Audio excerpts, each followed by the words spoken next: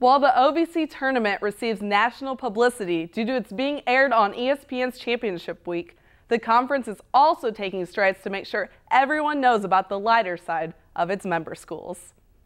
We see the OVC basketball teams compete in semifinals and the finals on national TV. But what about all the things going on behind the scene? What school has the best free throw distractions? Which fans bring the most enthusiasm?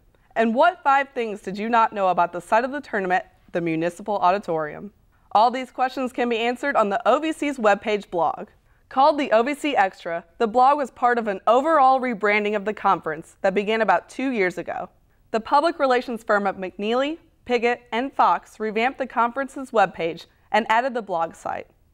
We did a little bit of research and found that there, there aren't many conferences out there that, that run, uh, that manage their own blog. So we've got 12 really good institutions in the conference. We wanted one central hub where we could share all, all 12 stories from, from each campus in one spot. Uh, so ovcextra.com is the blog.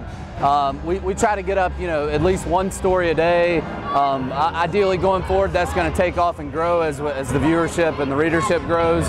And uh, you know, right now it's about five, five, six months in, um, and we're just really in the content collection phase, encouraging uh, each member institution to funnel us as much content as possible because we really want to highlight some of these really good stories. While the blog does feature many sports stories, that is not all they write about. So whether it's uh, uh, an AD, a sports information director, uh, a president, a, a, super fan, we you know we like to feature fans, um, you know athletes who are doing doing things in the community, um, nonprofit work, uh, stuff like that. People people just who, who, just have interesting stories that need to be told.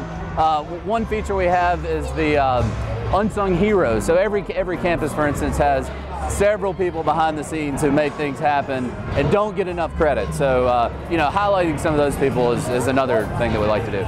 So the next time you want to know a little more about a student athlete, a particular team, or a rival school's team, just check out the OVC Extra blog.